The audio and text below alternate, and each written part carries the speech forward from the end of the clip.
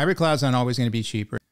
So anyway, this is going to be a big uh, deal, I think, over the next few years as people are wrestling with looking at a hybrid cloud infrastructure as really kind of their target environments now. Where a few years ago, everybody was saying we're moving everything into the public cloud providers and you know, hybrid cloud really wasn't going to be a thing. And many of the public cloud providers were pushing back on hybrid cloud as, as well. Now that we're embracing it, enterprises are embracing it, and they're doing so with the assumptions that it's going to be uh, better uh, cost optimistic for them. In other words, their ability to leverage uh, money in ways that are going to bring more value back to the business. But in many cases, it's not.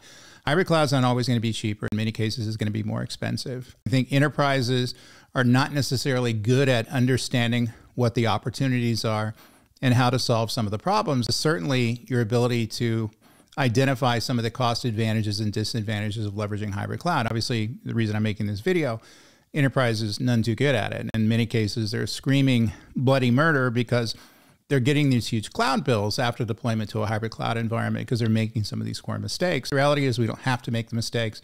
Get the people you need around you to make these uh, sound architectural decisions and ultimately just be very realistic about what this stuff's going to cost. All in cost, not just the cost of the you know, public cloud services, um, but the consultants, the operations, the uh, people you're going to have to hire, uh, your ability to manage licenses, your ability to deal with ingress and egress costs.